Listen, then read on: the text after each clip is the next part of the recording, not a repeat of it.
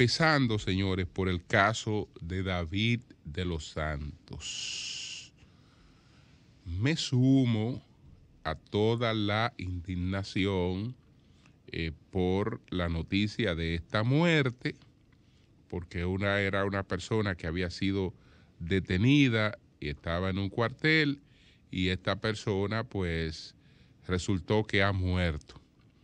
Y lo que ha planteado el legista es que eh, fue a causa de un homicidio, es decir, que eh, hay violencia, que no fue eh, una muerte que se produjo por un percance de salud, un infarto, una situación, sino que es una muerte violenta, que fue una muerte inducida. Entonces, esto tiene que investigarse. He visto la reacción del presidente Abinader la reacción de la fiscal del, Distrito Nacional, Rosalba Ramos, que ella está en licencia por razones de, eh, de posparto, ¿no? Pero aún así ha expresado y se ha comprometido a una investigación de lo que ocurrió con David de los Santos. Tiene que tienen que establecerse las responsabilidades del lugar. En este caso, es decir, si ahí hubo manos criminales, si su muerte fue provocada por una golpiza en la policía, pues eso tiene que tener consecuencias. Como esto ha ocurrido después que recientemente se han presentado otros hechos entonces todo esto se está englobando en una visión de imagen muy negativa sobre la Policía Nacional. Mi recomendación es que cada uno de estos casos los veamos de manera particular y que se le dé el seguimiento necesario a cada uno de ellos y que en cada uno de ellos se produzcan después de la investigación pertinente, las sanciones del lugar. Lo que quiero llamar la atención es que acabar con la Policía Nacional, decir que, bueno, que esta policía tiene que ser transformada, que tiene que ser anulada de arriba abajo, no vale de poco. ¿Por qué no vale de poco? Porque después que pase esta indignación, nosotros no vamos a continuar desenvolviendo con la misma policía. Lo que les quiero decir, que esa policía que tenemos hoy es la que vamos a seguir teniendo, a la que se le podrán introducir algunos cambios, pero que no es una institución transformable en el corto ni en el mediano plazo se pueden ir a hacer cambios. Yo sé que hay buena intención y hay mucha promesa en eso de una transformación de la policía, pero hasta ahora hemos tenido cosas reactivas. Cada vez que se producen olas como esta, entonces eh, vienen las creaciones de expectativas sobre lo, de una reforma eh, policial, pero no hay tal posibilidad de una reforma policial, porque la policía no es otra cosa que una representación de la sociedad. Y esa policía que nosotros tenemos es la policía que nosotros pagamos. A esa policía a la que le queremos exigir absolutamente todo y tiene que cumplir con sus deberes plenamente. Pero también tenemos que hacernos algunas preguntas para que veamos qué le estamos exigiendo a la policía.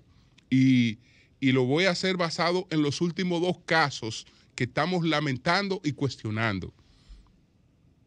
Tenemos este caso lamentable de un joven que hace una crisis emocional, una crisis mental en una plaza.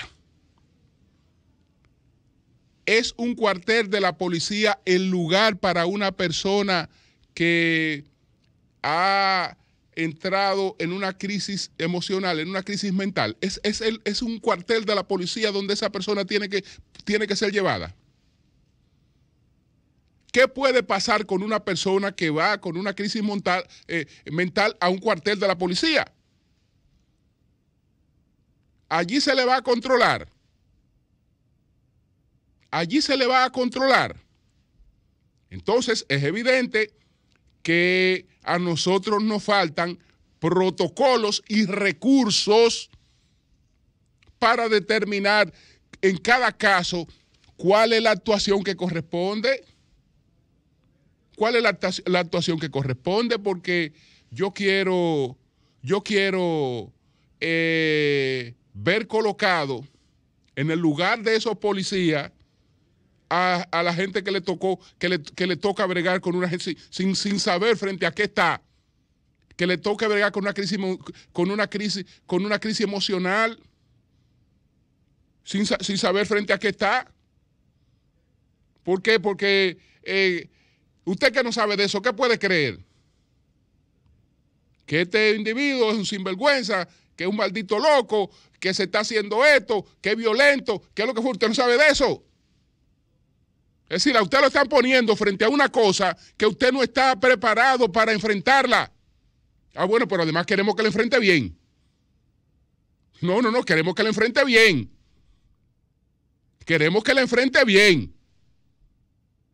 Pero, ¿y, quién, ha dicho, ¿y quién ha dicho que frente a una situación como la que se había dado, a un cuadro como el que se había dado con, David era un cuartel de la policía, el, lugar donde se le podía poner bajo control.